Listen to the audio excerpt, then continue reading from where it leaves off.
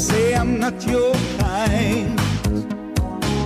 They say that I should take you from my mind. But that is hard to do when everything I care about is you.